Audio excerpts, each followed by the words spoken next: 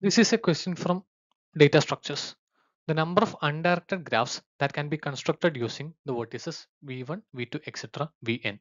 So here we are having n vertices and we are asked to find out the number of undirected graphs that are possible.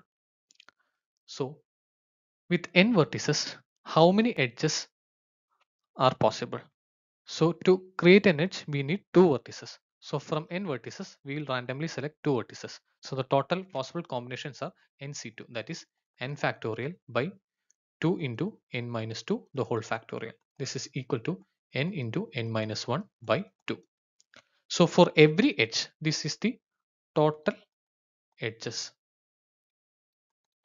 This would be the total edge.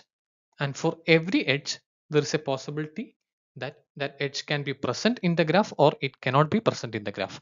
So for every edge, there is two possibilities. So for n edges, we can have 2 to the power n into n minus 1 by 2. This is the correct answer. Option B, 2 raised to n into n minus 1 by 2 is the correct answer.